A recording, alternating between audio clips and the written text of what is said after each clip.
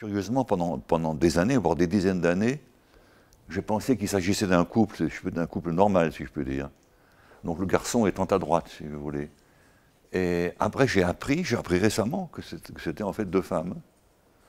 Ça n'a pas énormément changé ma façon de voir ce tableau.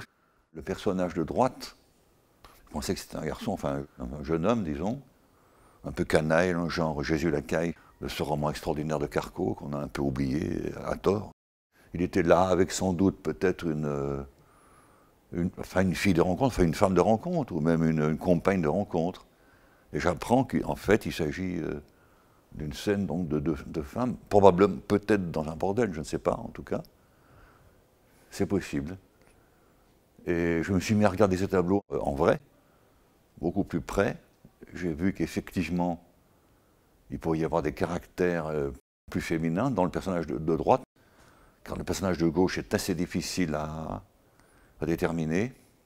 On peut remarquer aussi l'œil gauche de la fille dont on voit pratiquement tout le visage, qui est un œil de mort en fait, qui est extraordinaire.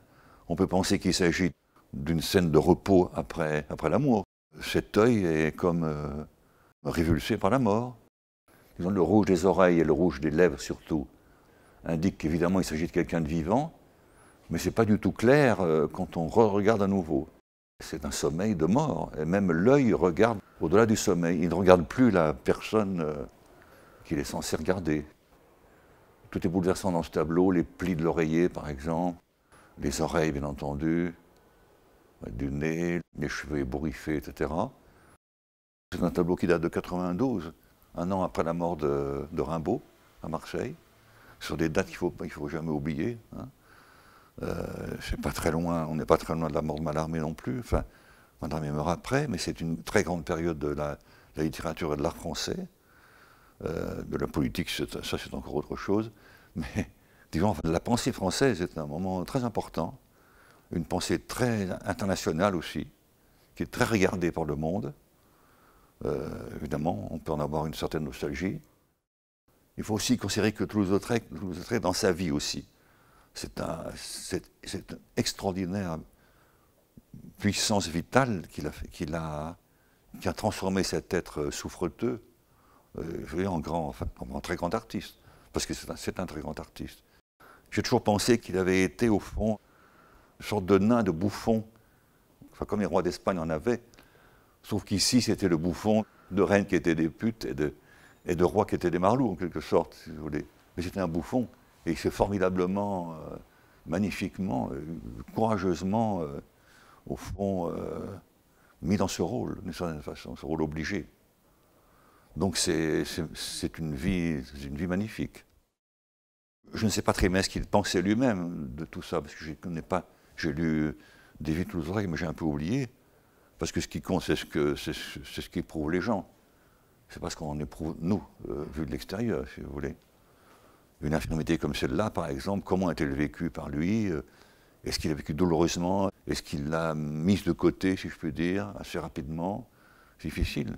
En tout cas, l'art est là pour, son art est là pour prouver qu'il, l'a fait, Parce qu'il a fait une œuvre, une, une magnifique qui compte énormément, qui en plus est une de témoignage sur son époque.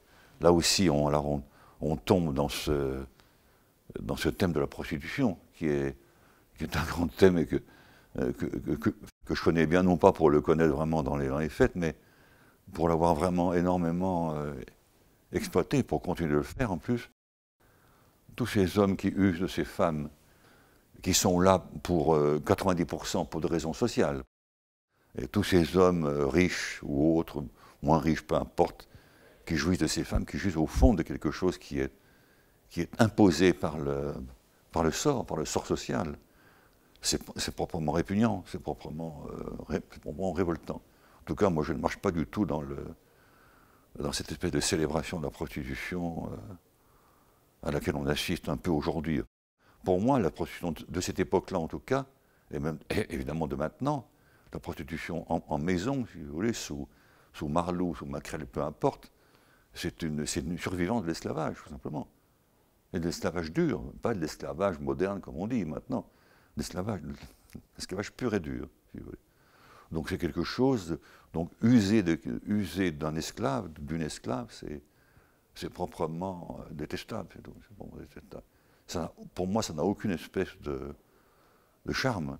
Maintenant que les artistes et que les auteurs, les poètes, etc., évidemment, euh, comment dirais-je, se jettent sur, ce thème, parce qu'au fond, c'est un thème central, forcément.